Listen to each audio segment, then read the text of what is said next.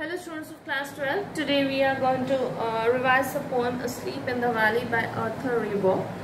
Uh, you have already read the poem. What I'm going to do is I'm uh, quickly going to go through the poem once again. Um, as I have already written it over here that it's a Petrarchan sonnet. Uh, it's mentioned in your book also Italian Italian sonnet uh, written by Petrarch. Okay uh, which is a 14 sonnet is a 14 line poem which is divided into octave and sestet and in this octave uh, it uh, begins with a sunlit valley and a slow stream flowing across it. And um, then you know the um, sun rays uh, streaming from the mountain tops that is it begins with a very lively picture of the nature and in this state um, okay and also in the octave uh, he talks of a soldier who is lying in this uh, thick undergrowth. And um, but even if uh, even though he, he is uh, lying in a um, sunlit uh, you know valley he his face you know he's pale. Uh, next in this sestet he's talking uh, once again he's giving uh, a more detailed description of the soldier as to where he's lying. He's lying on a pillow of fronds his feet on the flowers and the rest of the body on the grass. And then he talks of uh, um, that you know he has a smile okay uh, which is like an infant. That is uh, without guile that is without any sort of trickery. So um, that is uh, he is saying that uh, soldier is very innocent. That means you know uh, it also uh, tells us that the soldier is very young. And uh, then he also notices something very strange that even though insects are constantly you know buzzing around but uh, still it doesn't disturb his sleep. So and he also uh, tells you know nature to keep him warm so that he does not catch a cold. But you know uh, mm, till the last line uh, we don't know actually uh, you know the uh, poet is just talking that the soldier is asleep but only the climax comes in the last line when he says two red holes. That is two bullet wounds. The soldier is already dead. Okay, the war has snatched away his life. So, you know, he just he just um, delays uh, the climax, you know, to heighten the suspense. Uh, means he keeps means uh, he allows the reader to keep guessing as to what is going to happen in that way. So let, let us read it once. A small green valley, uh, Asleep in the Valley by Arthur Rimbaud. A small green valley where a slow stream flows and leaves long strands of silver on bright grass. From the mountain top streams the sun's rays they fill the hollow full of light. A soldier, very young, lies open-mouthed. A pillow made of ferns beneath his head. Asleep, stretched in the heavy undergrowth. Pale in his warm, green, sun-soaked bed. His feet among the flowers he sleeps his smile is like an infant's, gentle without guile. Our nature keep him warm. He may catch cold. The humming insects don't disturb his rest. He sleeps in sunlight, one hand on his breast, at peace. In his side there are two red holes. So, as I've already said, he begins with a description of nature. And what is it?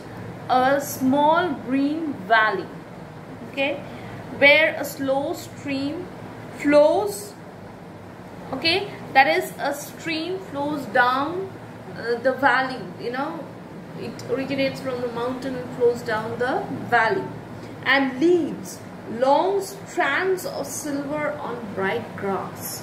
So leaves means which leaves? Means uh, looking at the stream it looks like a band of silver right uh, as strands means like, like a band and why it says that strands of silver because of the reflection because when the sunlight is falling on the waters it gives a silvery appearance. So uh, when the poet is looking from a distance it appears to him as long strands of silver that is a you know long strips or bands of silver. From the mountains streams the sun's rays. So we can imagine okay the mountain tops and the sun rays uh, streaming okay? And the uh, sun rays are you know filling up the whole um, you know area. From the mountain tops to the valley everything is filled is bathed in sunlight. Um, they fill the hollow full of light. Full of light means hollow here means the valley and full of light means the uh, he's talking of the sun rays. A soldier very young. So uh, we can guess you know he is allowing the readers to guess its age uh, by the very phrase very young.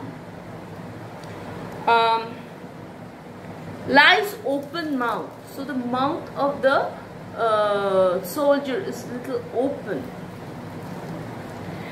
a pillow made of ferns beneath his bed. So beneath his bed his uh, you know um, he is um, keeping his head on the uh, pillow of ferns. That means you know we can understand that there is a heavy undergrowth. Uh, there are some uh, you know uh, different kinds of uh, flowering plants are there and ferns okay um, they are uh, means the wow, place where the head is resting is on the ferns and the rest of the body is on the grass and the feet is among the flowers. Now feet among the flowers is very significant. Okay we'll come to that later uh, his feet among flowers uh, he sleeps. Okay so the poet it appears to the poet that the uh, soldier is sleeping. Okay um, his smile and then he is uh, giving uh, some more details about the you know appearance of the soldier. That is it, when i when i looked at the face it appeared that you know as though it it it it, it, it, it was smiling face so uh, the soldier it, it seems that the soldier is happy and the smile that he has already mentioned that the soldier is very young. So it has a smile like a infant. Infant smile is full of innocence. That's why he is saying gentle without guile. Guile means uh, no uh, you know no trickery or no sense of guilt in that way that is the soldier's smile is as innocent as that of an infant. Our nature keep him warm. Okay, he may catch cold. The humming insects don't disturb his rest. So even the insects cannot disturb his rest.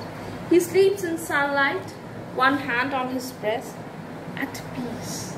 So looking at him, it seems that he's at peace. But what does he discover? He discovers in his side there are two red holes. Okay, uh, students, we will do uh, we will do some more discussion on the poem, uh, the question and answers uh, in the next class. Thank you.